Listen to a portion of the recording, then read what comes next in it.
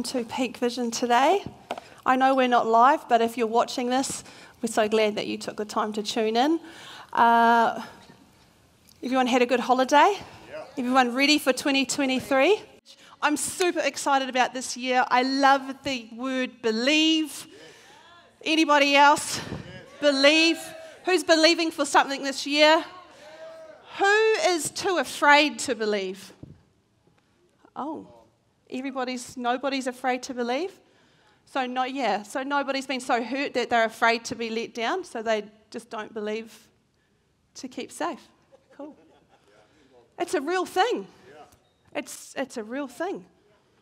I just want to validate you this morning. Say that God's got this. Amen. So, who was here on the first Sunday back? Who was challenged? Who's, who's dealt with some things. So if you, were, if you were missing in the house, Sarah ministered to us about forgiveness. That F word that we love in the house of God. She helped us to recognize symptoms of when we have unforgiveness in our heart. Who thought they were all good and then realized, oh, that's me. Hiding from the person in the supermarket running around the aisle. now there's nobody here, we all deal with that. That was awesome. And of course, who preached last week about how can we believe for anything if we cannot believe that one, we have a creator who created us.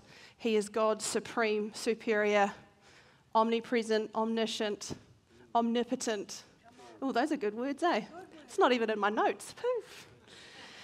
But Jesus is so good. So, we are going to stand again. If you've got your Bibles, as you're standing, open up your app, open up your paper word. Turn with me to the book of Romans. We're going to go chapter 10, starting in verse 8. Are you ready? Are you with me? If you're one of those people who haven't got either of those, you can follow along with me behind. All right. Oh, 10 verse 8. But what does it say? The word is near you, it is in your mouth and in your heart. That is the word of faith we are proclaiming. That if you confess with your mouth, I just want to say with your mouth, like the with your mouth, like the Americans would say, and in your heart, that is if you confess Jesus is Lord and believe in your heart that God raised him from the dead, you will be saved. Full stop. As the scripture says, anyone who trusts in him will never be put to shame. For there is no difference between a Jew, Gentile, black, white, fat, skinny, whatever, man, woman. For the same Lord is Lord of all and richly blesses some. All who call on him, for everyone who calls on the name of the Lord will be saved. Everyone who calls on the name of the Lord will be. Tell your neighbor the great news as you sit down. That is good news. I was saying, um, sharing that with Kent, I was like, that's all we need. It's done. Now I can hear some of you oldies going, mm, is it really that simple, Pania? Is it? Isn't it?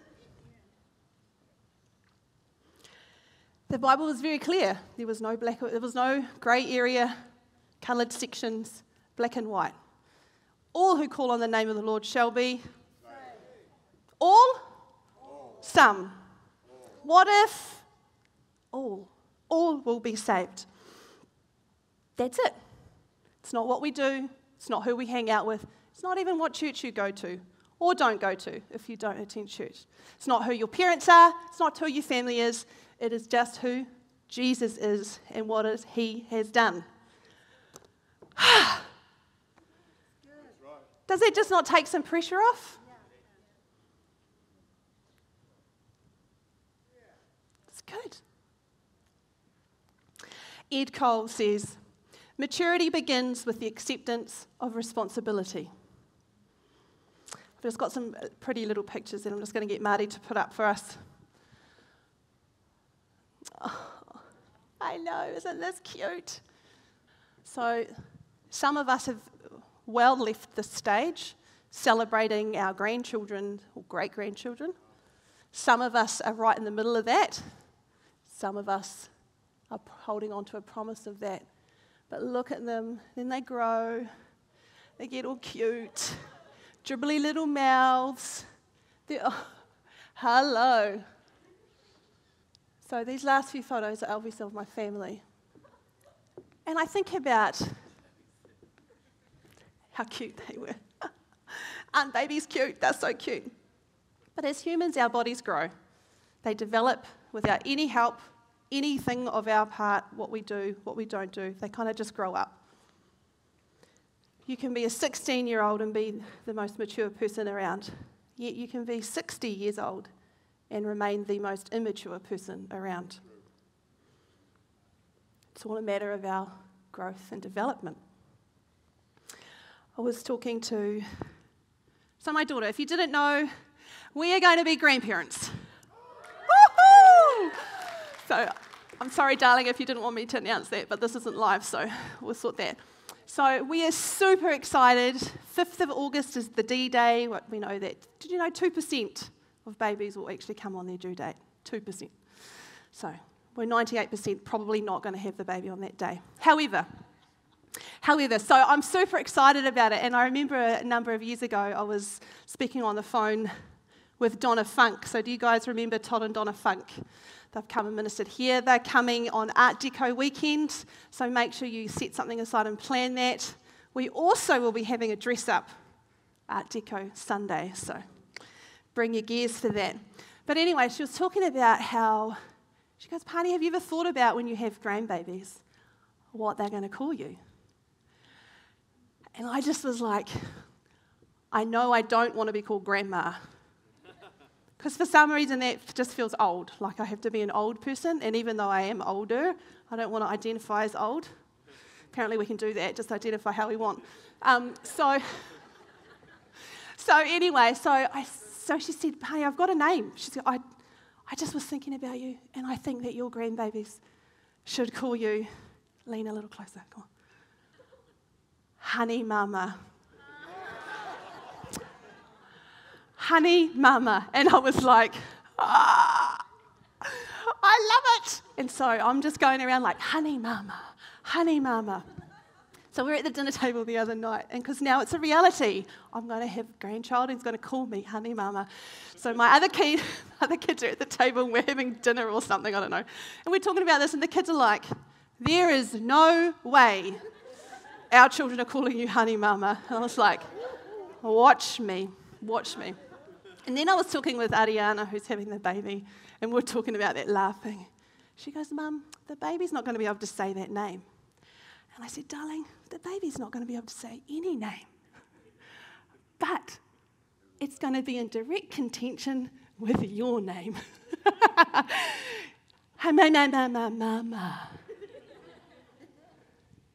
That's probably what my name will sound like. Mama. I mean, how adorable was that? Ah, I'm just I'm salivating thinking about how delicious that is.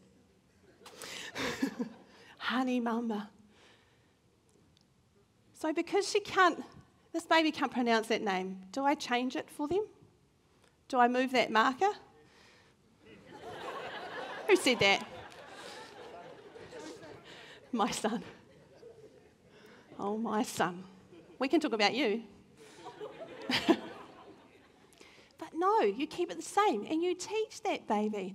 And when they're talking in gibberish to you, splitting out their mouth with their big eyes and dirty, sticky stuff everywhere and snot hanging out, and they're like, and you're like, yes, that's right. You're so beautiful. Don't deny it, that's what we all do. Is that right? You know, we come down to their level, we communicate with them. I'm not expecting them to blast out with the Ten Commandments or Jesus is the Lord or Hallelujah. I'm expecting blah, blah, blah, blah, blah.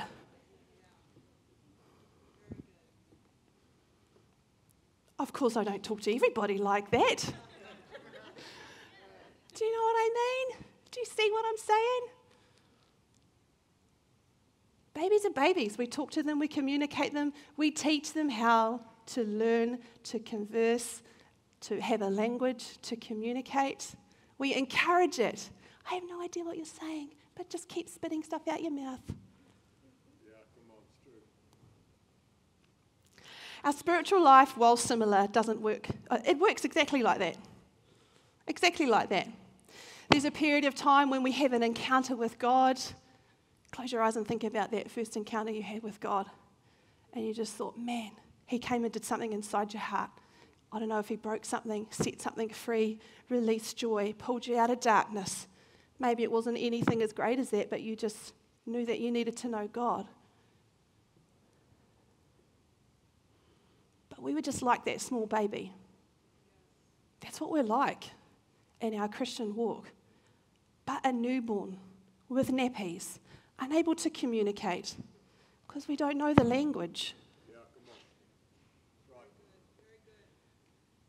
And just like a newborn baby, we need to surround our people, ourselves with people, a tribe who have the language, who can help us, who can grow us who aren't going to be expecting us to dictate something out of Revelations when I can't even get one word out. Babies devour whatever is given to them. If they can get something in their hand, it's in their mouth straight away. Good, bad, ugly, smelly, clean, whatever, it's in their mouth. The Atalia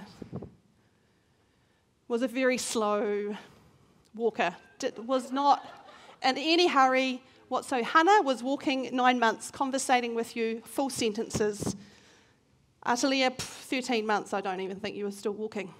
But she would sit on the floor with her deliciously chubby self, and she would just concentrate on her pinch of fingers. She would pick every single thing up off the floor. Oh, it was irritating. The but the things you couldn't even see, you'd vacuum and she'd still find something. But that's what babies do. Because they're inquisitive, they're hungry to learn, they want to know, oh, what does that food taste like? When you watch kids eat bananas or lemons, their faces are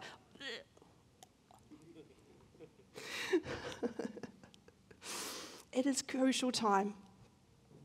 And we need to surround ourselves with good people. And oftentimes, who we surround ourselves with and what they say can help become the cornerstone or the foundation of our walk with the Lord. And this is great if it's good, not so great if it's not. But whatever we build on top of those foundations that were laid will either be good or not good. So, we need to remember that it is not by my works, not by what I do, that I'm saved, but through who? Jesus. It's done. Simple. That's my foundation.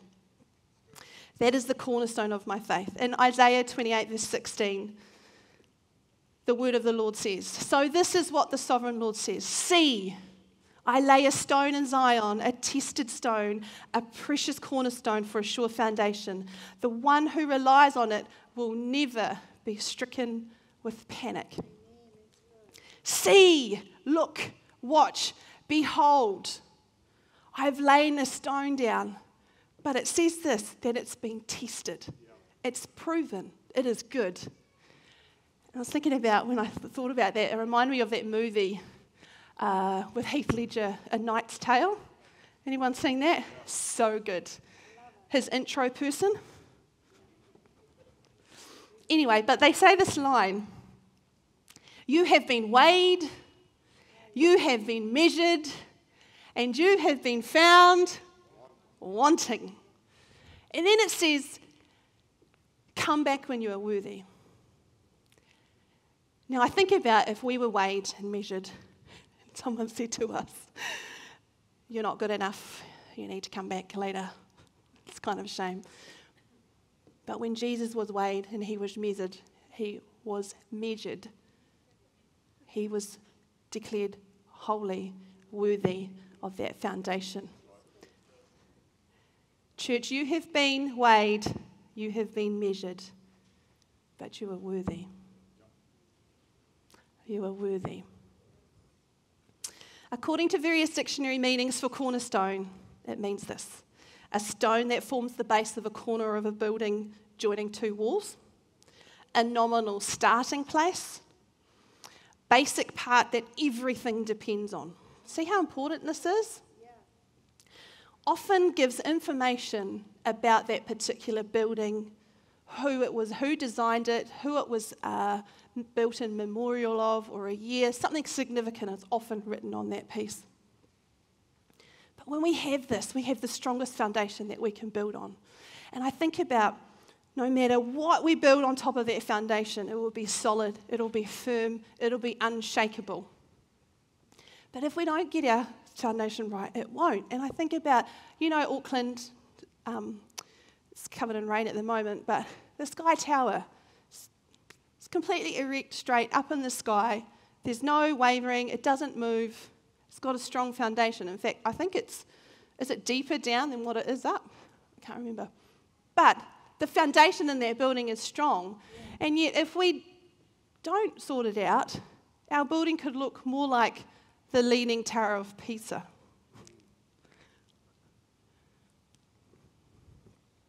What are we building?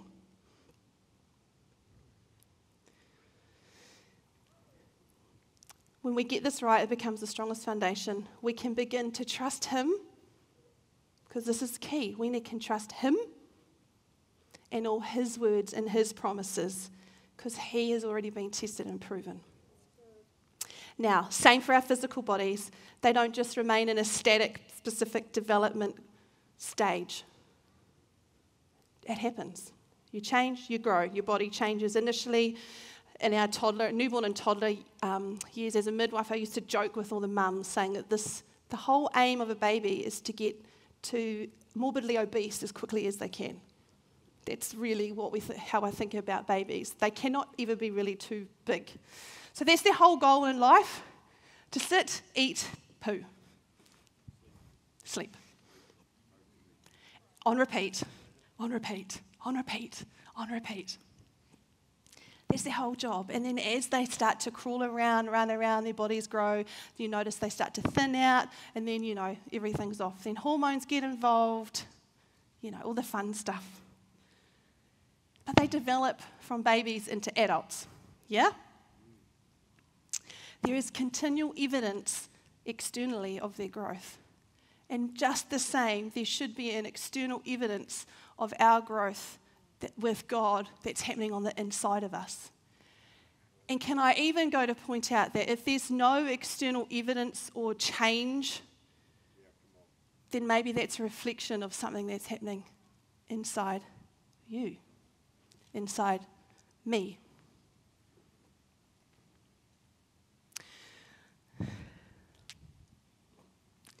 I remember there was this. Uh, know, when you know. So then, you know, butting in down the front here. uh, you know, when you come to the Lord and everybody's really quick to tell you what the sin in your life is. And maybe even sometimes when you've been in the Lord a little while and you should have dealt with something, there's already some helpful person who's going to point that out to you. Hey, you shouldn't be doing that. And you know, that's not actually our job.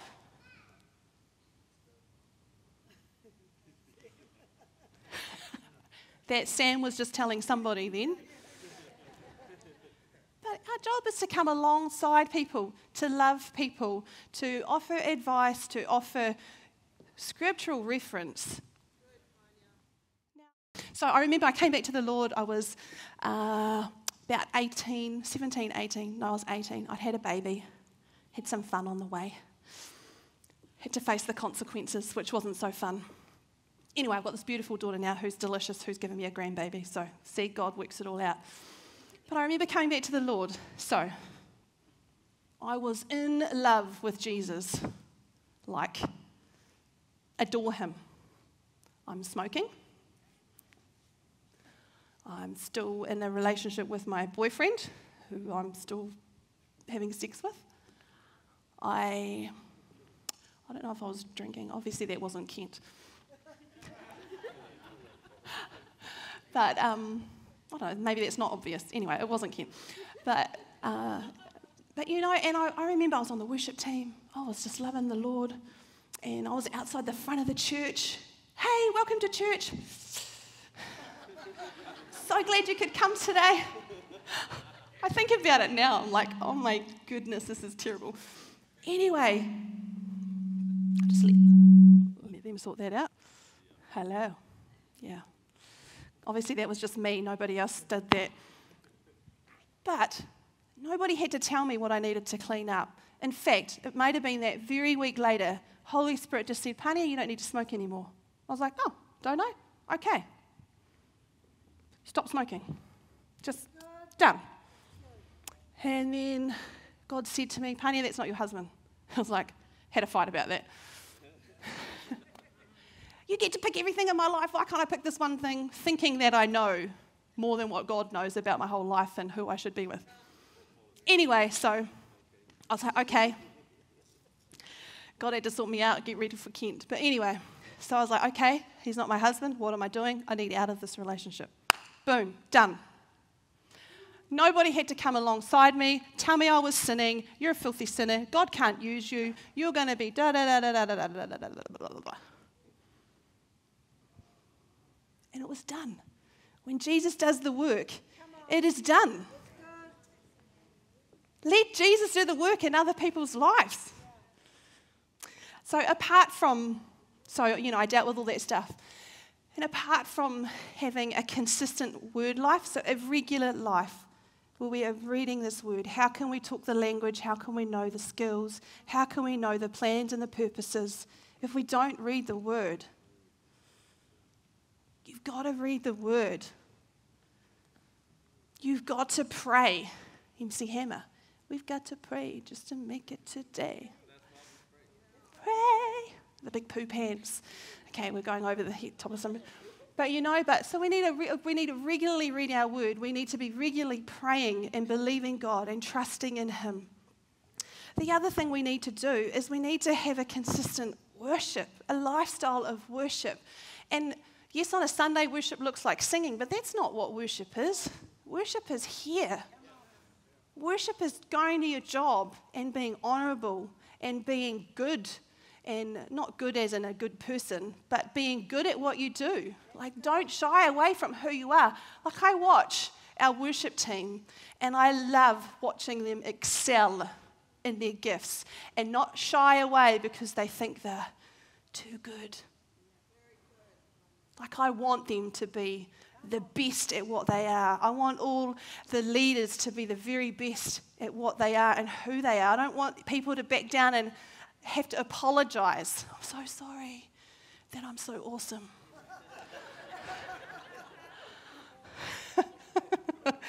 I want us to be proud. I'm not awesome at everything, but that, I'm the man. And it's okay, like it's good. Why would you want me to do something that I suck at? I'm not into developing all the areas that I really suck at. I want to develop the stuff that I'm really good at. Do you know why? Because there's somebody else sitting in a chair right maybe where you are that excels at the very thing that I'm terrible at. Isn't that makes what makes the body work? Do you know, side note, I was listening to the final podcast of the year and we had the Honourable Chester came onto the AO podcast. 70 trillion cells are in your body like that. 70 trillion? And they all work in unity to do what the body does. We have approximately 280 people sitting in here. Do you think we can all get together and work in unity to do what the body does? Yes, we can. But do we? 280? 70 trillion! Just was like, Boom. it's a good podcast. You should have a listen. It makes you really appreciate the creative God and the actually what it takes for us to be human. Like, we didn't just like, oh, here we are. This is probably one of the most important, not the most, but one of, become a committed member to your house, to your church. And if it's not here, then my prayer for you is that it is somewhere that you can commit, get really wedged in, like force yourself in. Here I am. This is my tribe. This is my people. I'm going where they're going. What can I do? If you're an active member and you participate and you're passionate about where you're serving and you're passionate about God and whatever He's done inside you, and you want, man, I want this family to grow. I want to see these kids grow up in the things of God. Man, maybe kids is the place for you. Man, I just love to bake. I love to bless people with my cooking. Maybe that's the place for you to serve. Maybe you like to come alongside people and just de- develop them and disciple them for a short length of time grow them how to read the Bible, how to pray in tongues, how to pray for people. Oh, maybe there's something you could do with that. But I don't want you to just come and tick a box like, yep, serve today. Want you to be passionate about it. I want you to be like, I can't not do this. It is what gets me up. It keeps me awake. I'm thinking about how I can do, how can I do this better? How can I do? Sometimes as a parent, you're not necessarily passionate about what you're doing every day, but you definitely lie in bed at night going, How can I do tomorrow better? or nailed it today. You know, but what are you passionate about? Get involved in the house. That's exciting. That's an exciting part. Honestly, it is the best thing ever. Remember what Ed Cole says?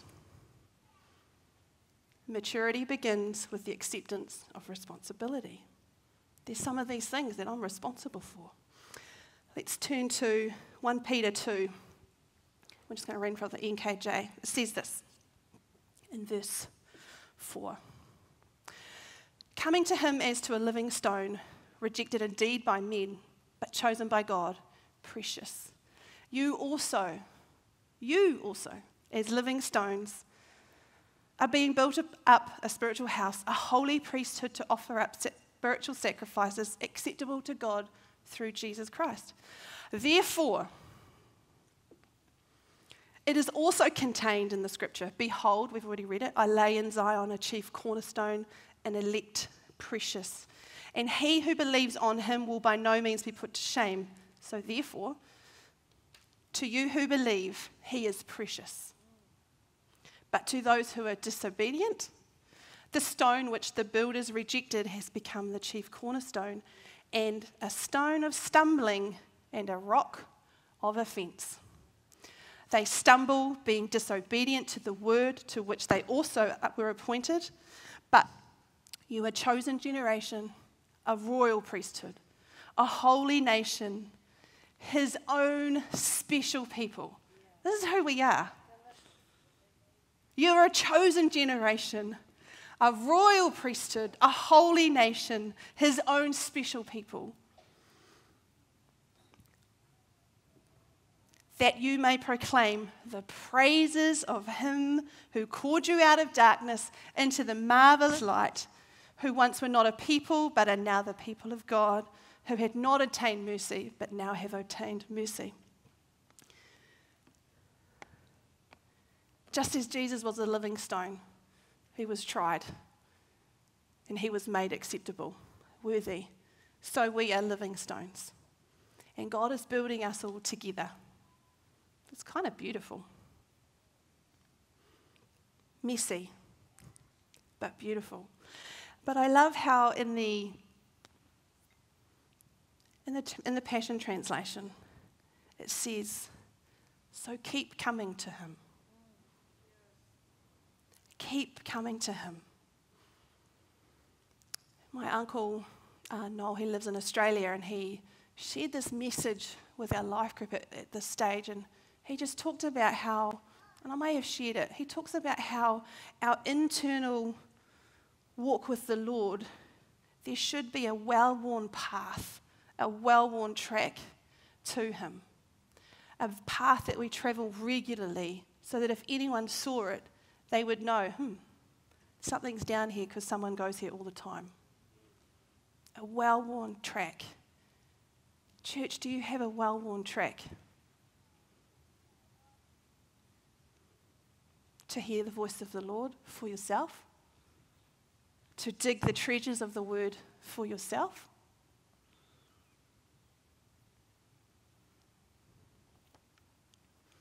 Maturity begins with acceptance of responsibility. That's my job. It's not Kent's job. It's not even Jack and Sari's job. It's not your Connect Group leader's job. It's your job. You are responsible for your internal working of what the Lord is doing.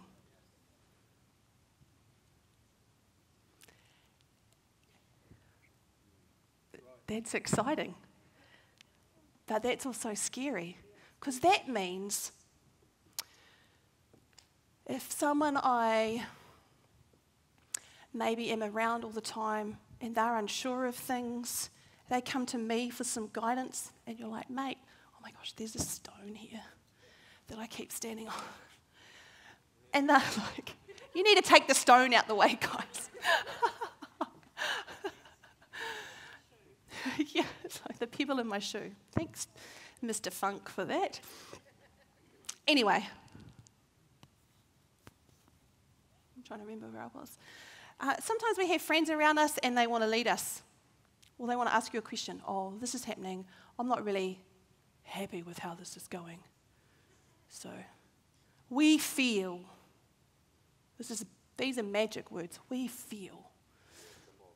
As soon as someone says that to you, you just need to turn off and go, well, mate, God's actually not much about feelings, He's much about doings. and it's not somebody else's job to tell you where you should be doing, what you should be doing. Outside of leadership, people who journey with you, people who know the cost of your journey and the cost of what it would be for you and your family. Because you know what? Anyone can offer you advice. It doesn't cost them anything. They're not going to feel the heartache, they're not going to feel the pain, they're not doing any of the hard work. Who looks out for your soul?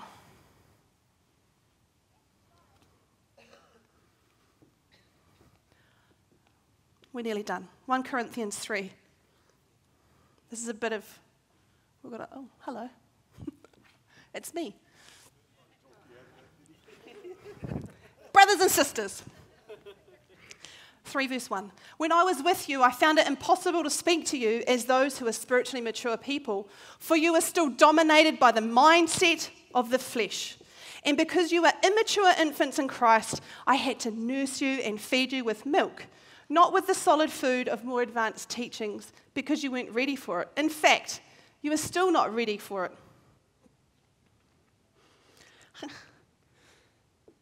you are still not ready to be fed solid food, for you are living your lives dominated by the mindset of the flesh. Ask yourselves is there jealousy among you? Do you compare yourselves with others? Do you quarrel like children and end up taking sides? If so, this proves that you are living your lives centered on yourselves, dominated by the mindset of the flesh, and behaving like who? unbelievers. For when you divide yourselves up in groups, a Paul group, remember some say Paul, and Apollos group, you are acting like people without the Spirit's influence. This is challenging. This is. Who is Apollos really?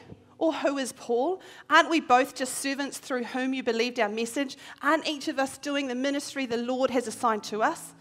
I planted the church, and Apollos came and cared for it. But it was God who caused it to grow. This means the one who plants is not anybody special, nor the one who waters, for God is the one who brings the supernatural growth. It's God. Now, the one who plants and the one who waters are equally important and on the same team just in case there was any confusion. Same team, but each will be rewarded for his own work. For we are co workers with God, and you are God's cultivated garden, the house he is building. God has given me unique gifts as a skilled master builder who lays a good foundation. Afterward, another craftsman comes and builds on it. So, builders beware. Let every builder do his work carefully according to God's standards.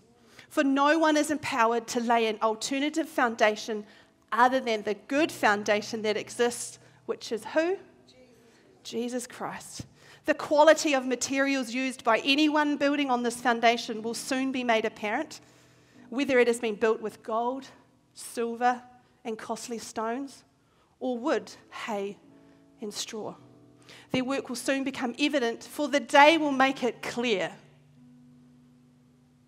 It'll be clear. It'll stick out like things on animals, for those of you who can work that out. Because it will be revealed by blazing fire, and the fire will test and prove the workmanship of each builder.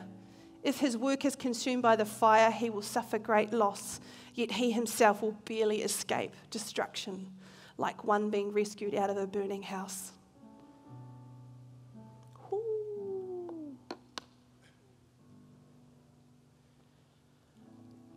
Can I encourage you? Maybe this is the year when people want to sit down and say things that don't edify the house of God. And I'm talking this house of God. I'm talking Peak Vision Church, Havelock North, Hawke's Bay, the anointed place to be. Where we're believing that God is going to do something supernaturally powerful and wonderful through us and in spite of us. That we will be a church that wants to be actively involved in what God is doing and not pulled along like a teenager who doesn't want to shower. Actually, that's funny because none of my teenagers have that trouble. doesn't want to get out of bed. There you go. This church will be known for our unashamedly, boisterously loud shouts of praise, shouts of worship, declaring that Jesus is the Lord. I'm not ashamed of it. I don't care who you are. I need a mature believer. I need maturity to be in this place. And I don't care how long you've been in the things of God, in church, sitting on a chair, serving, whatever. If you look like the world, you talk like the world, you smell like the world, then guess what? You are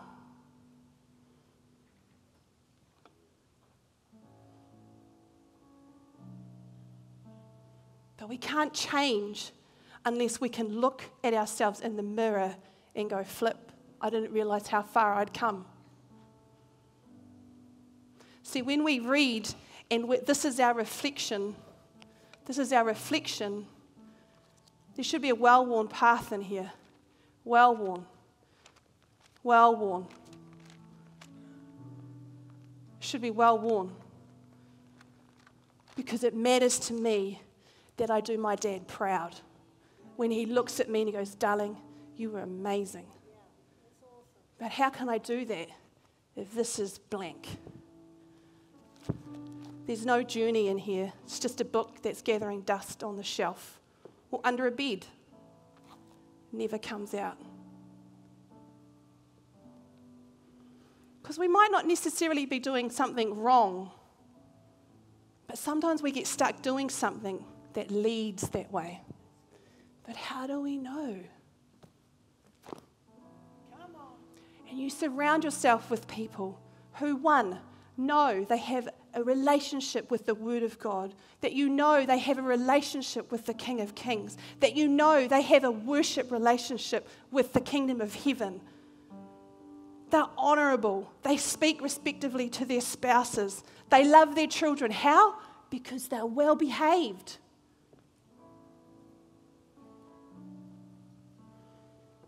I'm not talking all the time. Kids are kids, they're going to be naughty. But we expect that. I don't expect adults to be naughty.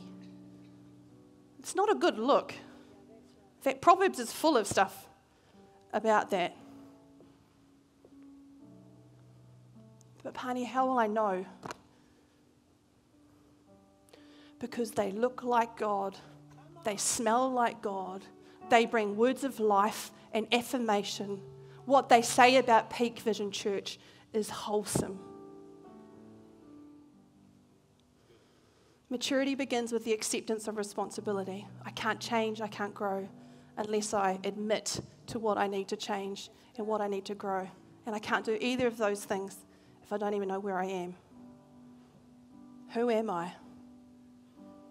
Who is God? Who is He to me?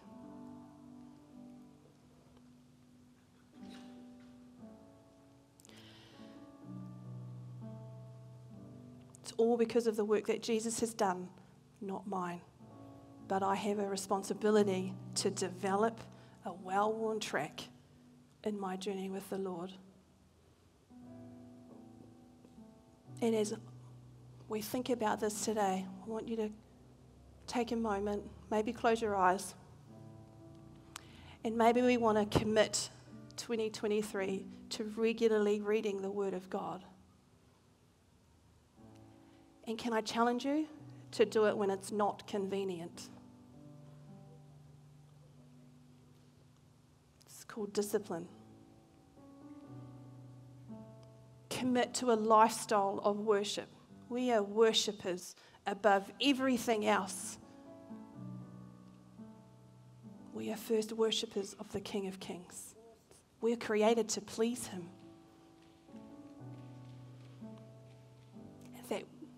Proverbs 16, verse 6 says, You can avoid evil through surrendered worship and the fear of God, for the power of His faithful love removes sin's guilt and grip over you. If you struggle with sin or getting out of its grip, then stand and worship. Come to the front. Worship God unabandonedly, unashamedly. Become a committed member in the house of God. Psalm 92, verses 12 to 15. The righteous shall flourish like a palm tree, he shall grow like a cedar in Lebanon. Those who are planted where? In the house of the Lord shall flourish in the courts of our God. They shall still bear fruit in old age. They shall be fresh and flourishing to declare that the Lord is upright that he is my rock and there is no unrighteousness in him. We don't need box tickers at Peak Vision Church. We need people passionate about their passion, passionate about your passion and their creator.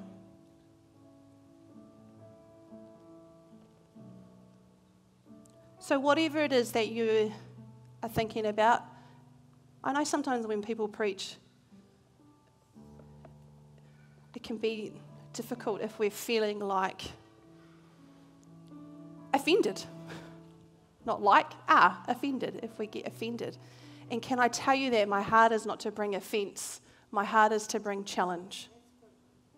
Because I want to see you be all that God has for you to be. Because not only will that benefit you and your household, your future, it benefits the people you hang around with, which then in turn benefits the church where you hang out, where you sow, where you are planted, but it benefits your workplace. Like, we're doing the world a great job, but it's fulfilling in here for you. So we're going to stand. Maturity begins with taking responsibility. What is it that you need to take responsibility for? Are you prepared to do that?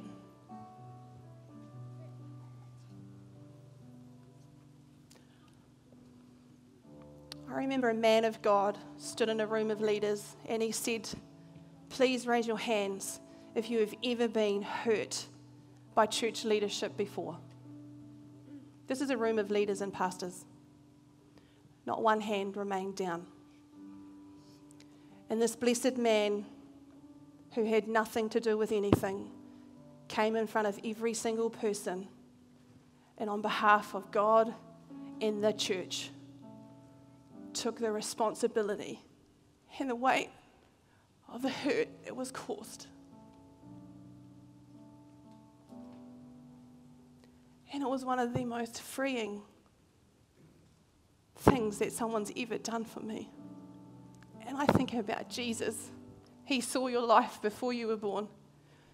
And He took the weight of everything that you have and ever will done that is wrong. And He said, Honey, I've got you. I've got you. Son, I've got you. I love you so much that I'm going to take that from you and carry that for you. Let's bow our heads.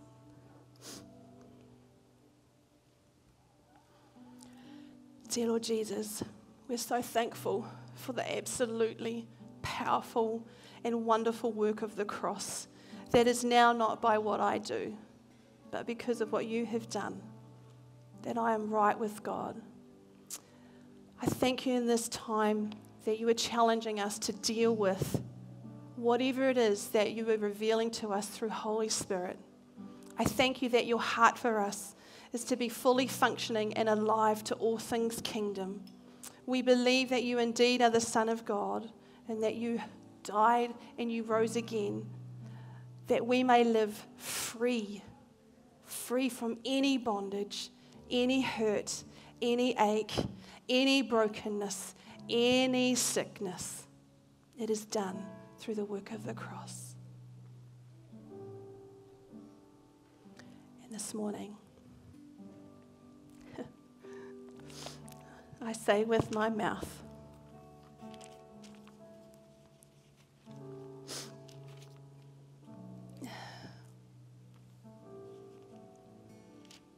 that I believe that you are Lord.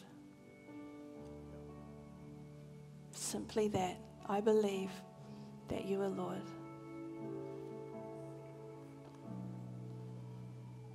If you want to respond to that today, one, you don't know Jesus at all, we've got a team of people who would love to stand with you to help guide you in your new journey with the Lord. And if you're someone who wants to respond to the, to the challenge of maturity and taking responsibility, then we'd also love to stand with you. Come, we'd love to pray with you. God is good, He's got good things for us. Amen. Amen. Amen.